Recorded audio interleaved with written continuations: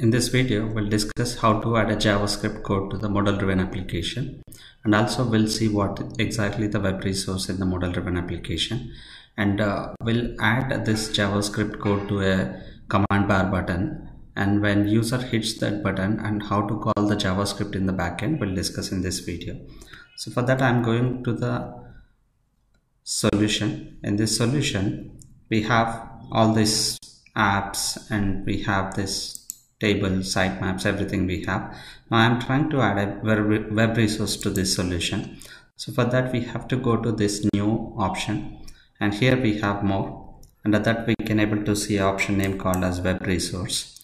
And when we click that it shows a window here and it is saying about the new web resource and we can able to upload from our local system.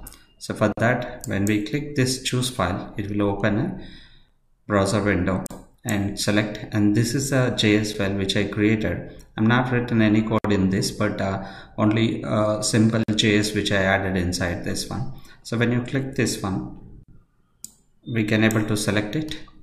And here the display name is this is a web resource code so I can give some CMS JS and uh, this is the name that is a display name and simply giving CMS JS and uh, the type is javascript. So we have a couple of other also in the web resource. If you want to add css or xsl or html file xml and resx file and also we can able to upload the images. These are the supported formats in the web resource of the model driven application. So if we go to the advanced option and it only have the language but uh, we no need to select this one because we only have an english option. When i click save this web resource will add into this solution. Now so once we add web resource another another tab also added here which is a web resource and we added a code file. We have the data file and image files. So total three different type of web resources we have in the model driven which is one is code another one is data another one is images. If you go to the code you can able to see the file here see here when you click this eclipses and we also have an option when you click this edit and we do have a edit in classic. If i hit this edit it will open a window here but we cannot able to see the code here. You can only able to see the url and the other options just before we discussed. But if you click this eclipse and if you go to edit in classic mode we also get the editor for the code as well now here the same options you can able to see name display name description. And here we have a content and we have language and you can able to choose a file from here and the url but we we do have another option here text editor. So when you click this text editor you can able to see the code here. So in this i, I only written js so that's why it is only showing that. And uh, here before uh, you know before writing the code what I'll do is first I'll go back to the application. We'll click this application. And uh, here uh, we have added few things but uh, we'll try to edit this one. And I'm clicking edit in new tab.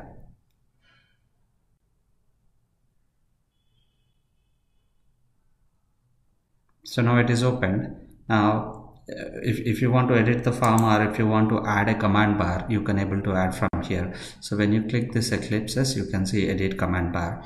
Now i am going uh, to add a command bar. So when i click this edit i can see this window and i'm choosing this main grid now. Click edit so here I, I, just want to show an alert message when user hits any of the button. So for that i'm creating a one command button here.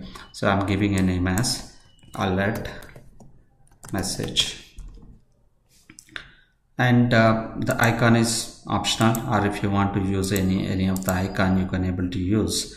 Otherwise you can skip this one. And here we have an action called run formula. Uh, i'll change this to javascript and here in the visibility also I'll, sh I'll show with a um, condition.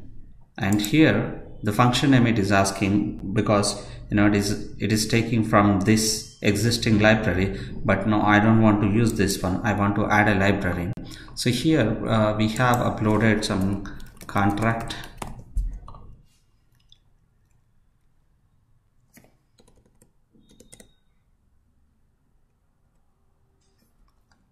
we have uploaded one contract uh, JS file into our solution.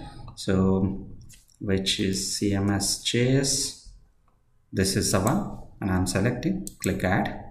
Now so before saving this one we need to write the code for this one. So then only we can able to write the function name and then we can pass the parameters. Now in the text editor i'm writing this function removing this one. I'm writing a function name called alert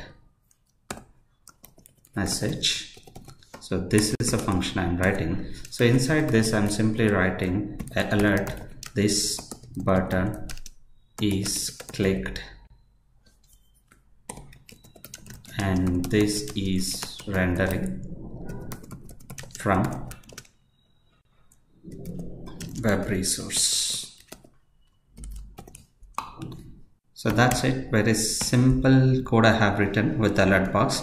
When user hits this alert command bar then i want to pop up this message. We are done with this one and come back here. The function name which is asking I just copied the function name and I'm passing here. I'm not passing any parameters into it. I'm just keeping empty then we'll save and publish this one and this one also need to publish and before publish we need to save it and then we have to publish so once you save and publish only the changes which you did here in the classic editor will reflect on it. If you go to here, the code will shows in this text editor. Now we don't have any issues here. Click OK and then try to play this one. So now the new version of this app is available because uh, we just published it. The changes are once the changes reflected into play mode we can able to see the output.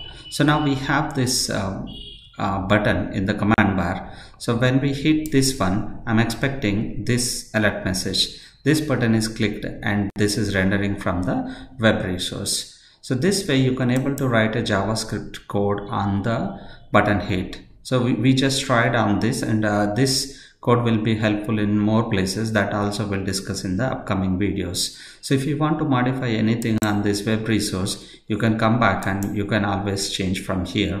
So if you hit that one if you want to change this message or if you want to add any any other code here you can able to add. So this way we can able to call the javascript code into an a model driven application